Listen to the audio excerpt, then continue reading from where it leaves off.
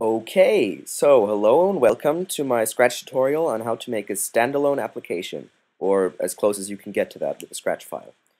So, um, here we have a game I made called Soul Reapers. You can play it in the description, there'll be a link, but that's not important right now. So first we want to save this in a folder. Okay, so I've made a folder called tutorial. And now we go and save that in the game folder here.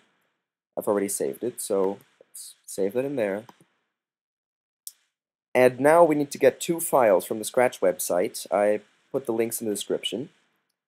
And you want to put these into the same folder as the game, as, a, as the Scratch file.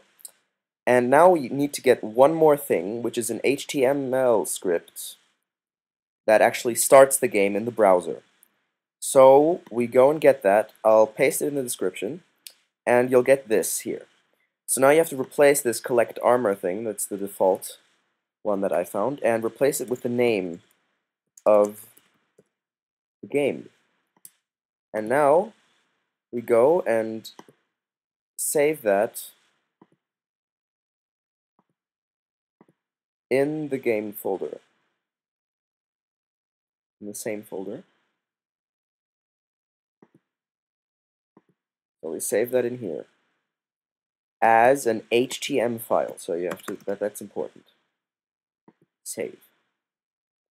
And now you'll see when we open this,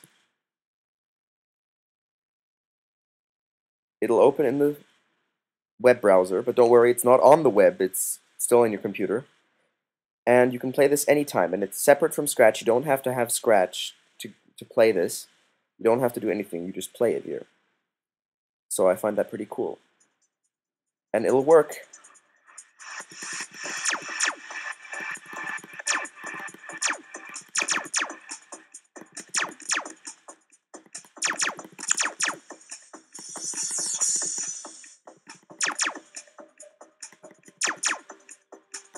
Yep, so thanks for watching.